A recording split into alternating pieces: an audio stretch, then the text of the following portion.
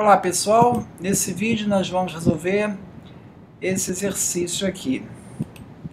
Eu tenho qual o valor da raiz quadrada de 0,444? Bom, duas maneiras de resolver isso aqui. Primeiro, eu posso dizer que eu na verdade eu tenho um x que é 0,444.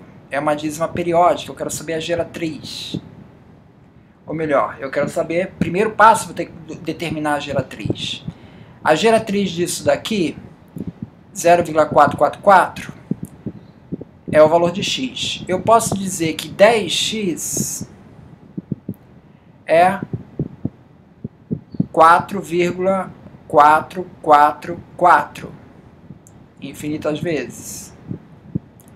Diminuindo um pelo outro, 10x menos x é 9x.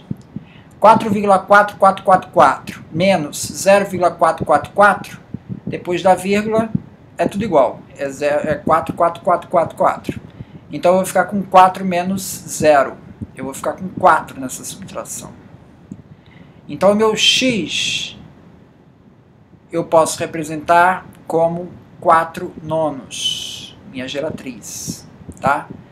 Mas eu quero saber a raiz quadrada de x. Então, a raiz quadrada de x vai ser a raiz quadrada desse número aqui, que vai ser 2 terços. 2 terços é igual a 0,666, dízima periódica, tá? Uma outra maneira prática de eu calcular essa geratriz seria saber que o período é 4. Período, aquele número que se repete na dízima periódica, é o 4. Eu boto ele no numerador. E o denominador vai ser a quantidade de noves iguais ao número de algarismos. 4 tem um algarismo só. Então eu vou dividir por 9, só um 9 eu vou ficar com o meu 4 nonos. E aí eu chegaria no x igual a 4 nonos. Depois determino a raiz quadrada. Muito obrigado.